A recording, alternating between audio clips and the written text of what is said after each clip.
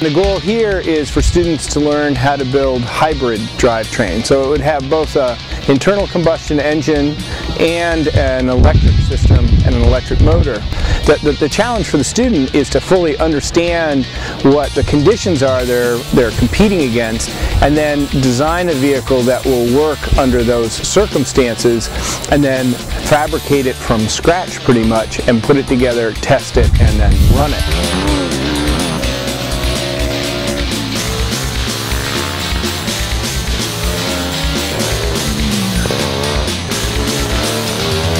It, it, really teaches them how to think as engineers outside of the classroom, and that's really what this, this uh, the Hybrid project is all about.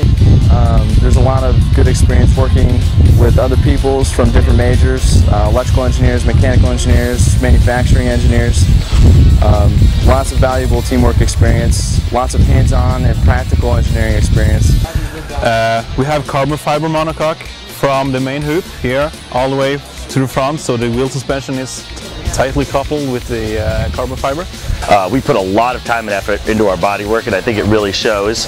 It, it came out really gorgeous and uh, you know it's just all part of, of a lot of design that goes into it. We probably have the smallest gasoline motor here. We have uh, also the lightest car, we're at 445 pounds without the driver, which is hundreds of pounds lighter. So basically, we're kind of like that spider. We got these goofy wheels, and we whip around those curves, and we're like this agile little spider. So I really love our car.